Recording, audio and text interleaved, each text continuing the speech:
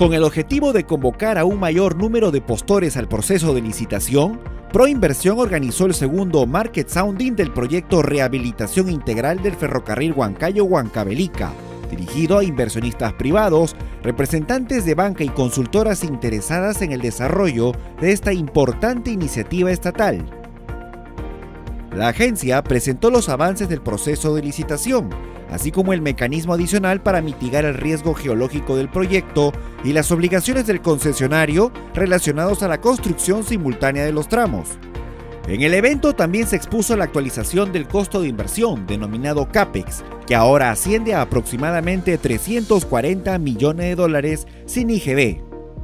Los postores interesados en el concurso público tienen plazo hasta el 31 de octubre de 2023 para presentar sus documentos de precalificación, pues la adjudicación del proyecto está prevista para diciembre de este año.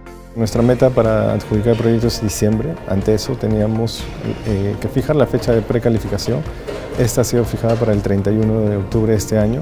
Hemos invitado no solamente en este evento, sino en anteriores eventos y también en reuniones de trabajo con los interesados a que se acerquen a, hacer una, presentar sus documentos de precalificación y a pasar por una revisión previa que nosotros podemos realizar para poder llegar así al 31 de octubre con la precalificación y también con la meta de diciembre de la adjudicación. La modernización del ferrocarril Huancayo-Huancavelica será un motor de desarrollo socioeconómico para las regiones de Junín y Huancavelica, pues dinamizará el potencial turístico, comercial y agropecuario de la zona y facilitará a la población el acceso a servicios de salud y educación.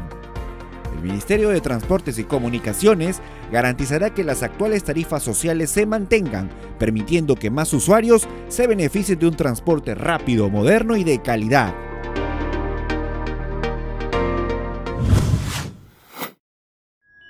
Bicentenario del Perú 2024. Gobierno del Perú.